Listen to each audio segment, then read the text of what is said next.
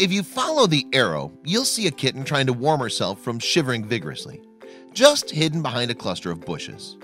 A family was woken up just before sunrise when they heard a little kitten crying outside their home. They walked over to this tree beside the road in the picture to investigate further. Meet Little Brave Miss, who battled the temperature of negative 1 degree Celsius to warm herself, according to Detroit Lions for Life.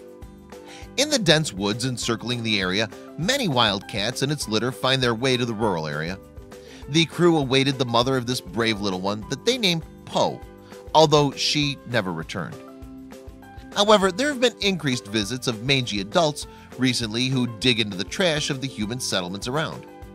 This little trembling kitty gloated and snuggled on the warm furry blankets when she reached inside the home. The family claimed that they are more than joyous to welcome another furry friend to their family of two dogs, three guinea pigs, five chickens, and a cat. The little girl has charmed her friends around the house in a day after the rescue and is hyperactive at the time. In fact, Poe sulks whenever she can't find a friend in the big family, which she's currently a part of. She's even charmed the grumpy cat and dog that the family has. For her stunning bravery, independence, and gorgeousness, she was christened Poe.